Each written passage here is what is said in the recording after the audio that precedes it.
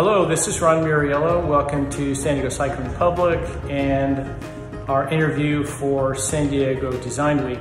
Today I'm going to spend some time with a former environmental lawyer, uh, the uh, acting board president for the San Diego Bicycle Coalition, a, a very strong cycling advocate, and an associate of mine in a project we're doing together in Liberty Station called the San Diego Community Bicycle Center. So there's a lot to talk about, and his name is Richard Opper. I sat with him on a bench in front of Barracks 191 in Liberty Station to talk about the San Diego Community Bicycle Center and everything else he's doing in cycling. Here is Richard Opper.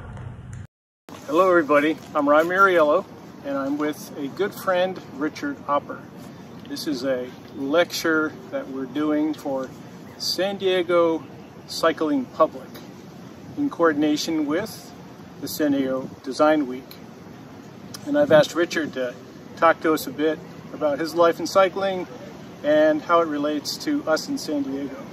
So Richard, can you just talk a little bit about your background and particularly relative to cycling in San Diego?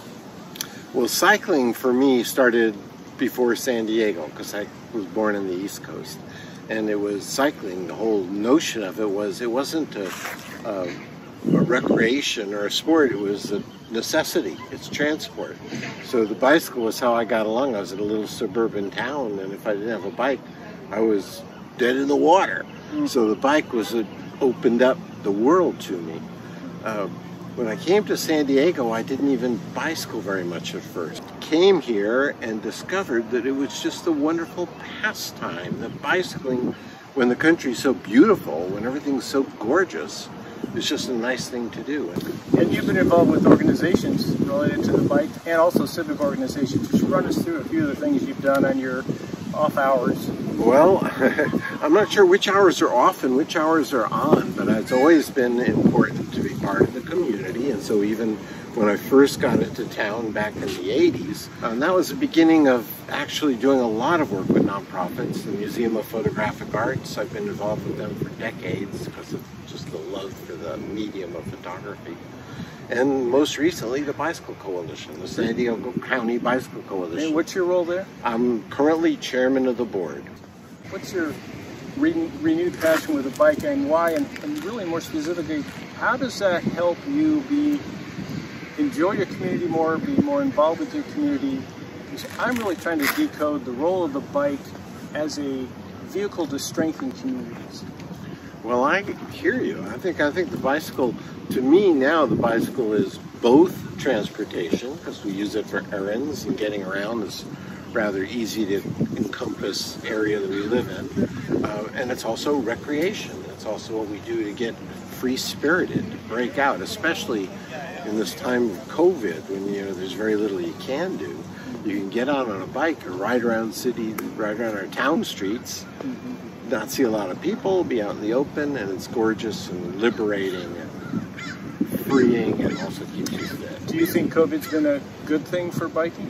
Clearly, the impact of COVID has had a remarkable impact on bicycling. Uh, the bicycle stores are selling more bicycles, they're repairing more bicycles. Factories are unable to keep up the orders for bicycling. This has been remarkable, and like we've noticed, you, you and I on our rides together, there's more people on the road. And where I live, not far from here, families are out bicycling all the time, coming to Liberty Station on bicycles and little flocks of kids and parents on bicycles. What they need is a place to go to. They need a community center where bicycles can be the focus of, well, of we're actually culture. sitting here in Liberty Station. I'm surprised the the airplanes haven't come overhead yet, so we're happy about We've got that. Some free time. But you have some thoughts about uh, the San Diego Community Bicycle Center, and you've actually made some progress on that. In fact, we're pretty close to walking around. Maybe later on in this talk, we can go walk around the structure. But give us a little bit of background of how this idea came about and what it's supposed to be, and more importantly, what it might be for people of San Diego. Well, one of the other organizations I was part of for a while is the NTC Foundation, and their job was to manage and maintain all the historic buildings in Liberty Station. And although not on the board anymore there, I learned of a building that actually sits on city land. So it was sort of in a never-never place. It, the, the foundation wasn't in charge of developing it. The city didn't really have a budget or a plan for it. They were thinking of knocking it down as an excess building. And it sits remarkably on Park, City Park, in the broadest connection of bike paths of any park the city has practically. And it's about uh, 20 yards from us, isn't it? It's about 20 or 30 yards from us, and right. it's and just it has dying to be rebuilt. Well, we're going to go, let's go take a look at it. So, if let's say it's uh, two or three or four years into the future, we've, we've got the money to rebuild it, someone has come along or some citizens to help fund this thing, and it's open. What's happening in this space that makes San Diego a better place? Who's using it? Well, part of the beauty of this idea is that it's one that can grow in response to what the community wants to do with it. Mm. The nexus being bicycles, and that there's a place for bicycles, mm. a heart, heart, and a home for bicycle things, whether it's lectures, events. I mean, the Ride the Point ride happens annually. It's probably going to start at the event center. Uh, we have people who come here after riding a bicycle up from Patagonia mm-hmm. who can talk and show slides what that's like, or leaving here to go bicycle to San Augustine, Florida. Mm-hmm. So there's so many things that the building can grow to be for people who, for the community to use it, to learn, to get educated, to have fun, to be entertained. So one thing I've noticed is cycling tends to be siloed. You're a triathlete, or you're a mountain biker, or you're a cyclocross guy, you're a mom with a tricycle and, and a son. Is this place for all those people? We sure hope so. This is really supposed to be a family center. Mm -hmm. This whole region and this park really attracts a family set mm -hmm. and young kids. So while we will welcome the bicycle racers and recreational clubs. Really, what we're trying to do is get families and help mm-hmm. kids learn how to be safe cyclists, learn the right way in a safe environment, mm-hmm. and spread that knowledge out and use it because bicycles can and will transform our community if we let them. I mean, the vision of the future, wouldn't it be wonderful if it didn't have so many cars in it? We spend so much place on cars and so much resources, so much money, so much fossil fuel. Well, and, and I heard on NPR last week that London and Paris and other cities have dedicated permanently traffic lanes are going to be gone, replaced specifically for the bicycle. Because, yes, it's healthy, yes, it's a sustainability issue, but they cannot put as many people into their mass transit now because of COVID. And they found that the bicycle is the ideal replacement for that. So I feel like the momentum is gaining. Ah, momentum. Plus, there's this notion that, you know, if it's popular in London, the weather in London isn't quite as good as San Diego. God, I know. I mean, it's not like this there a lot. We should be having an easy sell getting our community into bikes, but of course the love Southern Californians have had for cars mm -hmm. goes back a long way. Let's go walk around the center and take a look. It's a nice spot for that. Yeah. So Richard, tell me where where are we here? What tell me what spot we're in. Well, we're in one of the far reaches of the NTC Park at Liberty Station. Liberty Station is interesting. It's made up of different pieces, and one piece of it is owned by the city, and it's this big park, and we are on the easternmost point and edge of it.